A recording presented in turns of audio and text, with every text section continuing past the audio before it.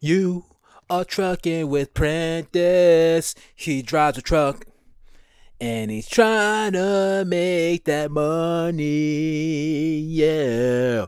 Trucking with Prentiss. Alright, so what's up guys? Uh we just got I just got out of the shower. We had a flying J, so my uh trainer's still taking his shower. Um we uh, we just got to Utah. Man, we have been running. And we've been running hard. pretty much just doing the team driving thing. You know, I've been uh putting in my hours and my trainer's been putting in his like uh 11 hours of driving.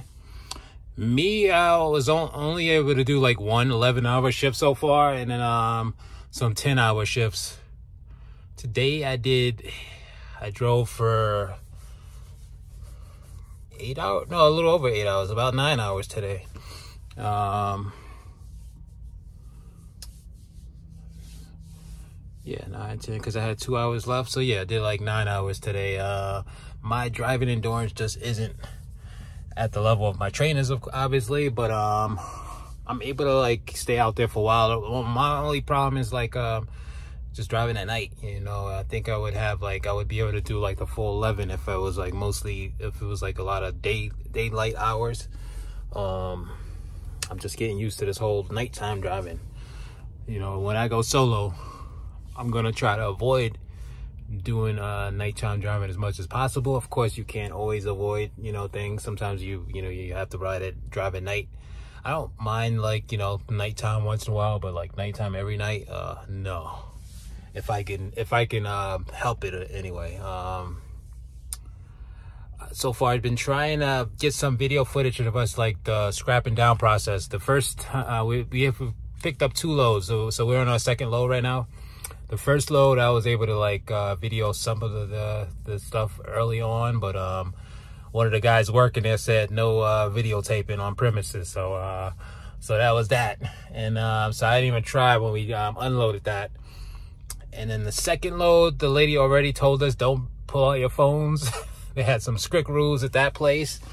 Uh, it was some steel plant or something, so no videotaping that one because it would be nice to be able to show these things. Uh, maybe if i had like a you know camera on my, on my person you know like a gopro or something maybe i'll be able to get it. But yeah you know um because you know flatbed was the big part of the thing is this load securement and tarping um and unfortunately i haven't been able to like get those on video but trust me it's a it's a lot of work. You know um I follow like a few uh, flatbedders on YouTube and they make it look easy. It's not as easy as they make it look, you know, it's a lot, a lot of work. You know, it's not, it's not super hard. It's just, you know, a lot of, a lot of stuff, a lot of steps you got to go through, you know, um, you know, um, and then on top of that, you got the driving afterwards. But, um, you know, I like the activity of it, you know, I'm, and I'm learning it, you know, slowly but surely, the whole scrapping down process, you know, scrapping things down and knowing when to use what, what methods, you know, um, I, I still have a lot of stuff to learn there, but um, first load was like a long pipe, I think some water pipe is there something like that, and then the second load is like uh, steel coils. So that had like a whole different like scrapping method for each one.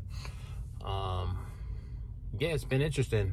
I mean, always checking out checking out the uh, every time I get out of the um, truck for my scratch brakes, I try to do like a walk around the truck, see what everything's looking like.